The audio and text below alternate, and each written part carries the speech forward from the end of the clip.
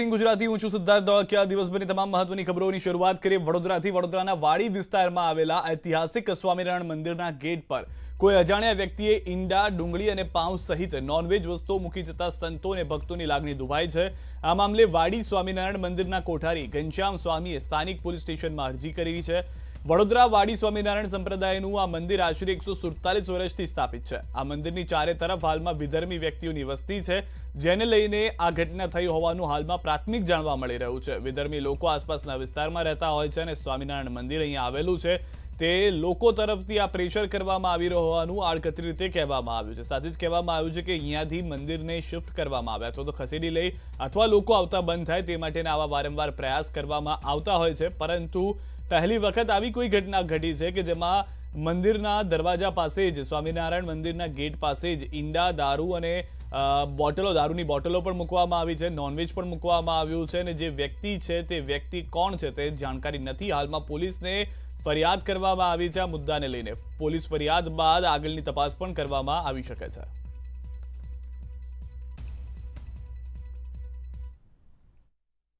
વારંવાર બનતો એવો ફરી એકવાર બનાવ બન્યો છે. મંદિરના મુખ્ય દરવાજાની સામે કોઈ ત્રાહિત વ્યક્તિએ ઈંડા ન ખાવાની વસ્તુઓ એ બધી મંદિરના ગેટ આગળ નાખી અને ધર્મ, અમારા ધર્મ ભ્રષ્ટ કરવાનો પ્રયત્ન કર્યો છે.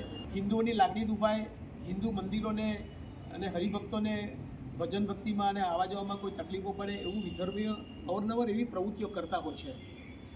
એવી પ્રવૃત્તિઓનું એક આ ભાગ આજે બન્યો છે.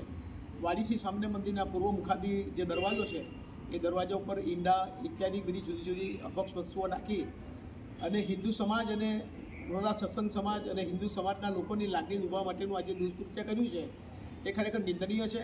આવું ન થવું જોઈએ. એવી અમે આજ શ્રી સરકાર અને પોલીસ તંત્રને ભલામણ કરીએ છીએ. આ તરફ ગાંધીનગરમાં સ્થાનિક ભંડોળ હિસાબ વિભાગના નિરીક્ષક સામે ફરિયાદ નોંધાઈ છે. નાણાં વિભાગના પૂર્વ નાયબ નિયામક ઉમેશ ઓઝાએ મુખ્યમંત્રીને ફરિયાદ કરી છે. નિરીક્ષક ચારુ ભટ્ટ સામે અનેક લેખિત રજૂઆતો છતાં કાર્યવાહી ન થતા મુખ્યમંત્રી ભૂપેન્દ્ર પટેલને ફરિયાદ કરાઈ છે. સરકારની મંજૂરી વિના વિદેશ પ્રવાસ કરી ખોટા બિલો મૂકવાનો ફરિયાદીઓએ આક્ષેપ કર્યો છે.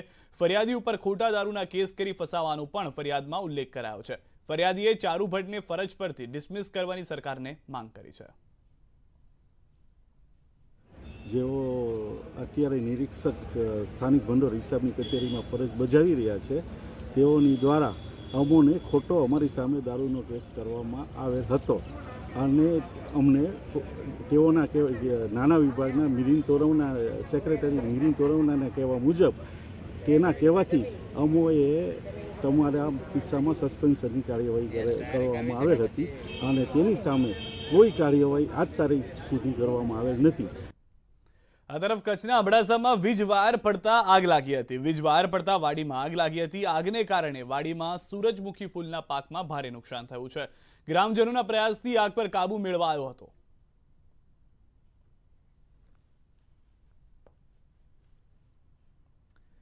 ટ્રાફિક સિગ્નલ પર બાળકો હવે ભિક્ષા નહીં, શિક્ષા મેળવશે. રાજ્ય સરકાર શિક્ષણ પ્રત્યે નવો અભિગમ અપનાવી રહી છે, ત્યારે સિગ્નલ પર ભિક્ષા માંગતા બાળકો માટે નવું આયોજન કર્યું છે.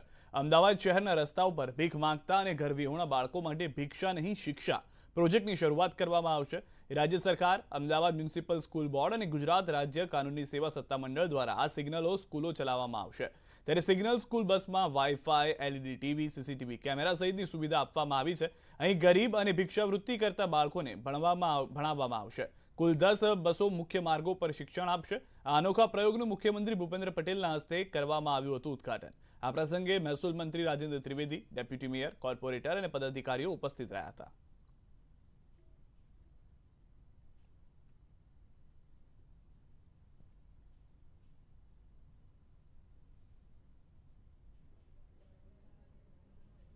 સૌને શિક્ષણ, ફ્રી શિક્ષણ, આ કન્સેપ્ટ સાથે જરૂરિયાતમંદ વિદ્યાર્થીઓ સુધી પહોંચીને એમને ભણવું હોય ત્યાં સુધીની વ્યવસ્થા કરવાનો એક અપીલ માનની એમ આર શાહ સાહેબે કરી.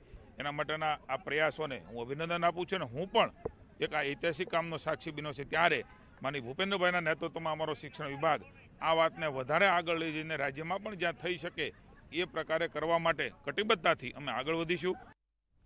હાલમાં કોરોનાના કેસ ભલે ઓછા થઈ ગયા હોય, પરંતુ કોરોના પછીની અસરો હવે ધીરે ધીરે સામે આવી રહી છે. શાળાઓ રાબેતા મુજબ શરૂ થઈ ગઈ છે, પરંતુ બાળકોના અભ્યાસ મામલે ચોંકાવનારા તથ્યો સામે આવ્યા. અમદાવાદની નેસ્ટ સ્કૂલ દ્વારા એક સાથે એક હજારથી વધુ બાળકોનું હેલ્થ ચેકઅપ કરાયું, જેમાં સામે આવ્યું કે કોરોનાના કારણે બાળકોની અભ્યાસમાં રુચિ બિલકુલ ઓછી થઈ ગઈ છે, જેને લઈને અભ્યાસ મામલે સિત્તેર ટકા બાળકોએ સ્ટેબિલિટી ગુમાવી છે. આ ઉપરાંત આંખોને લગતા, યાદશક્તિને લગતા કે મેદી વિસ્તારને પ્રશ્નોનો પણ સામનો કરવો પડી રહ્યો છે. કોરોનાને સંક્રમણ શરૂ થતાં બાળકોને ઓનલાઈન એજ્યુકેશન આપવાની ફરજ પડી હતી. ઓનલાઈન અભ્યાસમાં સતત રચ્યા પચ્યા રહેવાને કારણે પંદરથી વીસ ટકા બાળકોમાં આંખોની દ્રષ્ટિને લગતા પ્રશ્નો સામે આવ્યા. આ ઉપરાંત મોબાઈલના કારણે સિત્તેર ટકા બાળકોએ અભ્યાસ મામલે સ્થિરતા ગુમાવી છે. શાળાઓમાં અભ્યાસ માટે નહીં જવાના કારણે અને વ્યાયામ કસરતો આઉટડોર ગેમ બંધ થઈ જવાને કારણે પાંત્રીસથી ચાલીસ ટકા બાળકોના ઓબેસિટીના પ્રશ્નો પણ જોવા મળ્યા છે.